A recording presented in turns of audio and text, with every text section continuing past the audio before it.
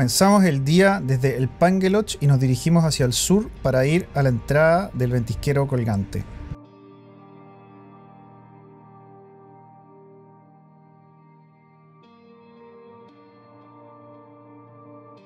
Buenos días, llegamos al Parque Nacional Keulet en este primer y único día que vamos a estar acá en el parque. Tenemos harto por hacer y ahora nos eh, acabamos de pagar nuestra entrada. Recuerden que para este parque hay que reservar y acá se paga con eh, tarjeta. Tenemos que avanzar un kilómetro y medio en auto hasta el próximo estacionamiento, si no, igual se puede hacer caminando. Así que acompáñenos porque hoy día hay harto por hacer. Ya, entonces, hoy día vamos a hacer dos panoramas. Nosotros estamos aquí.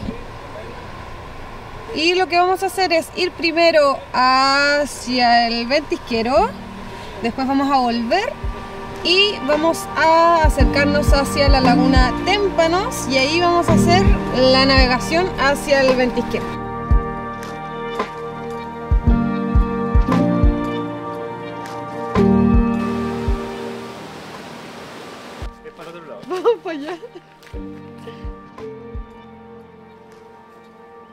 Nos esperan 2 kilómetros 8 desde el segundo estacionamiento. Si es desde el primero, sería, habría que sumarle un kilómetro y medio.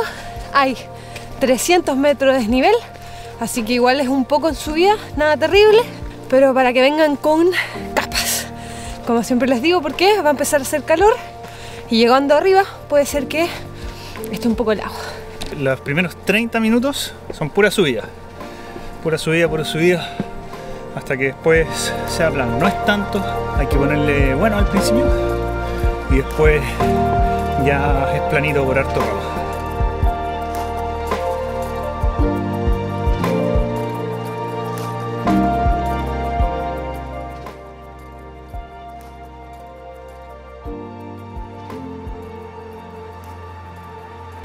Sería bueno pensar que la primera meta es llegar al kilómetro 1, porque en el kilómetro 1 nos encontramos con este mirador, que de hecho se ve, se ve el fiordo de Puyuhuapi, y hoy que está despejado se ve hermoso.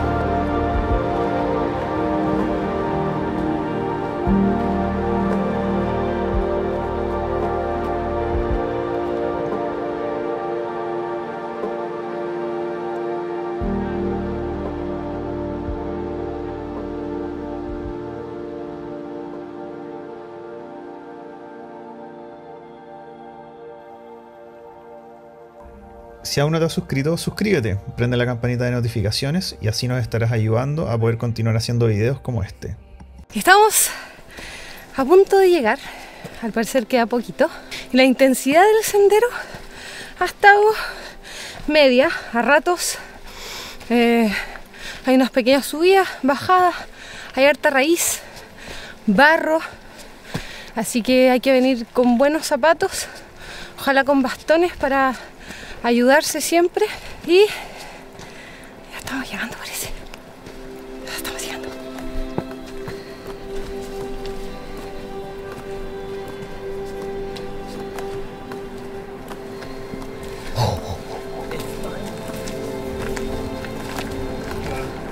Hola.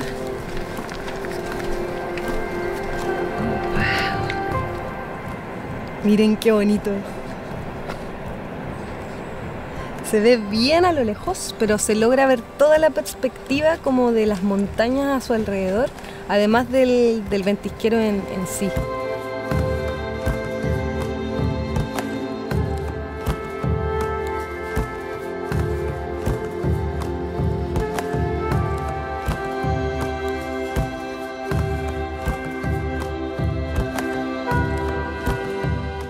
Llevamos aproximadamente como 20, 25 minutos aquí en el mirador del ventisquero Keulet.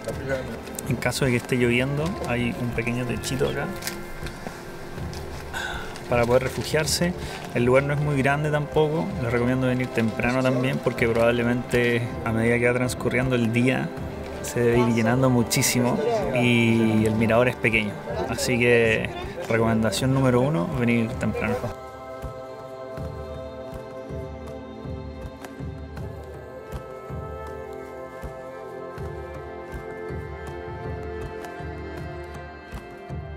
Y ya vamos saliendo del mirador al eh, ventisquero Keulat. Muy, muy, muy bonito. Te deja sin aliento verlo por primera vez. Como les dije antes, les recomiendo venir temprano. El lugar es muy pequeño.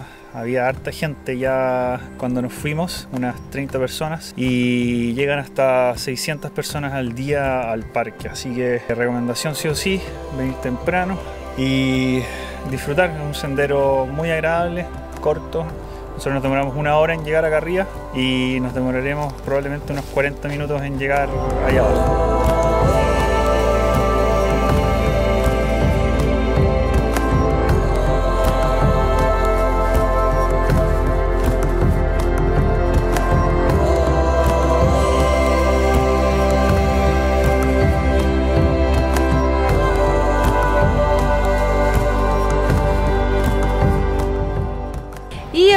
Hacia la laguna Témpano a hacer la navegación. Y ahora les vamos a mostrar qué tal, cómo está la, la panorámica de allá.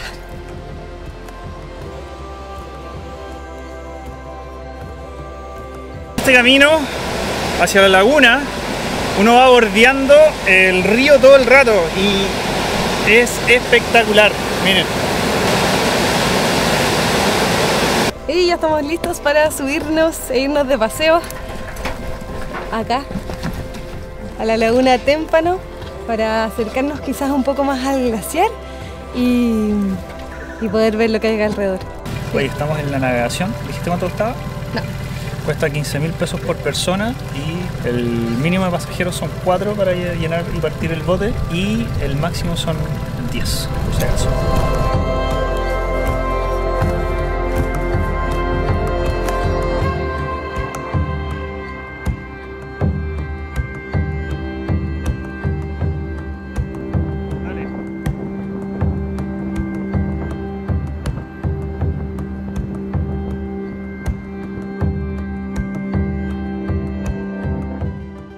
Esta navegación solo se puede pagar en efectivo.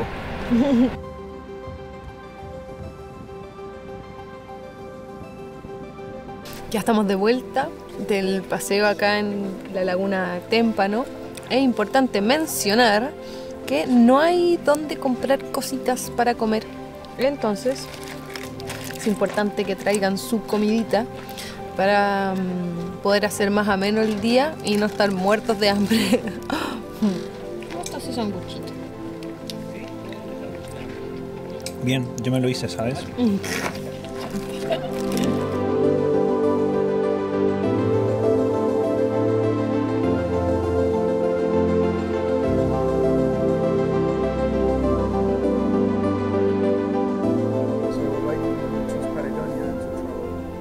I mean, look at that. It's absolutely amazing. The whole landscape, everything around it. Um, yeah, we we have never seen such a beautiful landscape, such a beautiful scenery.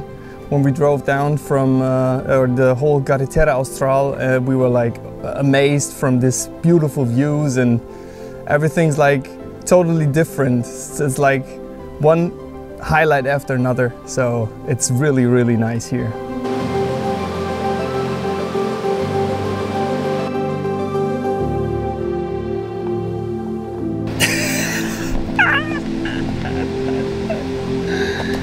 Te pasó?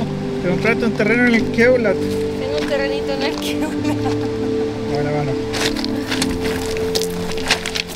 Ya salimos de la zona del ventisquero Keulat y ahora nos encontramos 23 kilómetros más al sur en el sendero Padre García. Aquí está el letrerito. Está justo en la primera curva de la cuesta Keulat, que son 33 curvas hacia arriba y son solamente 200 metros hacia adentro y dicen que hay una bonita cascada. Así que para seguir recorriendo el Parque Nacional Keulet vamos a pasar por aquí y ver qué nos podemos encontrar.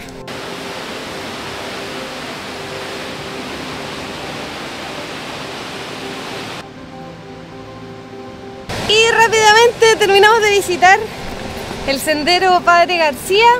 Al final hay una cascada que uno puede mirar desde arriba. Es un sendero muy cortito que baja pronunciadamente, después sube. Si te gustan las cascadas, este es un buen lugar. Es una cascada muy muy bonita. Si no te matan, mm, es un sendero que quizás te puedes saltar. Vamos al último sendero que vamos a hacer el día de hoy en el Parque Nacional Keulet, el sendero Laguna Los Quetros. Dice que tiene una longitud de 1700 metros. Acompáñenos. Miren esas montañas.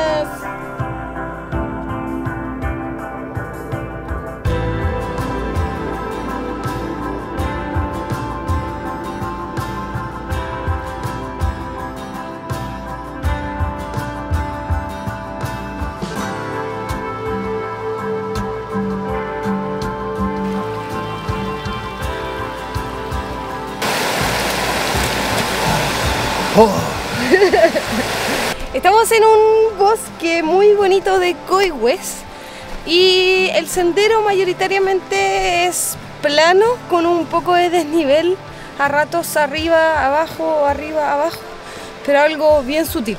Hay que tener harto cuidado porque em, las maderas están resbalosas, así que vengan con harto cuidado, tómenselo con harta calma para evitar accidentes.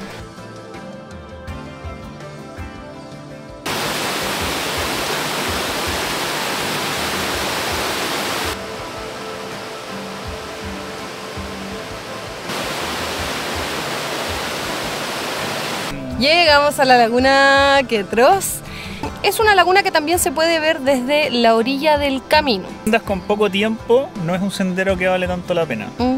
Mejor ir de largo al siguiente destino que parar. Son dos horas aproximadamente.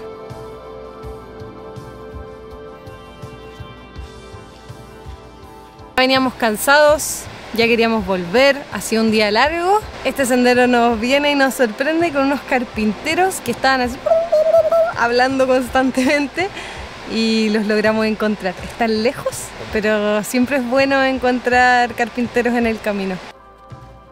Si te gustó este video, dale me gusta. Si tienes dudas, déjala en los comentarios y no te olvides de seguirnos para más aventuras. Nos vemos.